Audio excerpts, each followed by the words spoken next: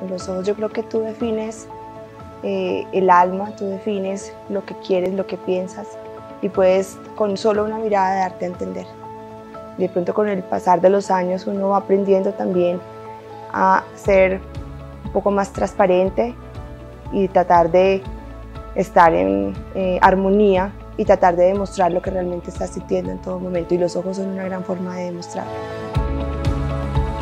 Con la evolución de los tratamientos hemos enfocado más el tratamiento de esta área en tan particular como es el área alrededor del contorno de los ojos, que es un área que se envejece muy rápido, que es un área de una piel delgada con ciertas particularidades que hacen que se envejezca mucho más rápido que otras zonas del cuerpo, debemos enfocarnos en la prevención, evitando la exposición a radiación ultravioleta, a la luz azul, evitando los radicales libres, evitando el cigarrillo, pero además eh, ayudándonos con productos cosméticos eh, avalados por la ciencia con estudios científicos de eficacia y de seguridad que nos permitan nutrir esa zona, hidratarla, hacer una renovación celular y estímulo de colágeno.